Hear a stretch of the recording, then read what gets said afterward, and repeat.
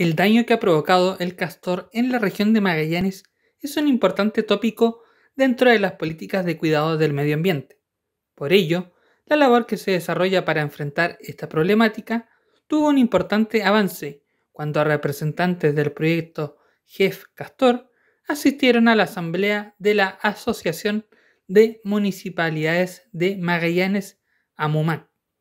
Felipe Guerra, coordinador nacional del proyecto Jef Castor, entregó detalles de los lineamientos del plan de gestión y la labor de los municipios. Ese rol de los municipios va de la mano de poder apoyar la ejecución de este plan de gestión en diferentes ámbitos o, diferentes, o, dentro de los pilares fundamentales de este plan de gestión. Uno en la gobernanza puede ser, otro puede ser directamente en lo que es la remoción de castores y otro que es muy importante es la educación y la comunicación. Entonces, Ahí es donde los municipios pueden tomar lo que está estipulado en este plan de gestión y obtener financiamiento en las diferentes o los diferentes instrumentos de, de, financiamiento que hay, tanto en la región como a nivel nacional.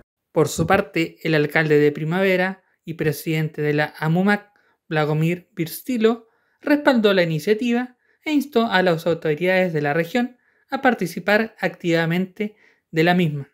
Hace ya un, buen tiempo que venimos hablando de este tema y nos toca particularmente en mi comuna, en Tierra del Fuego, eh, vivir muy de cerca este tema, esta problemática. Eh, y la idea de que el trabajo que se está realizando a través de este programa eh, hoy día eh, pueda tomar fuerza a través de las nuevas autoridades que existen en los municipios y echar a andar, porque el estudio y todo lo que se ha canalizado está ya bastante avanzado, prácticamente listo. Hoy día nos toca una responsabilidad súper grande como municipios de poder abordar este tema. A su vez, la edil de Río Verde, Sabina Ballesteros, resaltó que es una buena instancia de trabajo para erradicar el castor de la región. La verdad es que agradezco la instancia, de hecho nos vemos la próxima semana para poder trabajar esto de, con mayor atención. Hoy día tenemos un caso por lo menos a la vista en Isla Riesco, es el primer caso por cierto, así que hay que empezar a trabajar y como también lo dijo aquí mi colega Blagomir, eh, hay que empezar también desde eh, lo local. El, el, municipio tiene que ver la forma cómo apoyar esto y ojalá que esto también sea alguna política a nivel regional, Paula.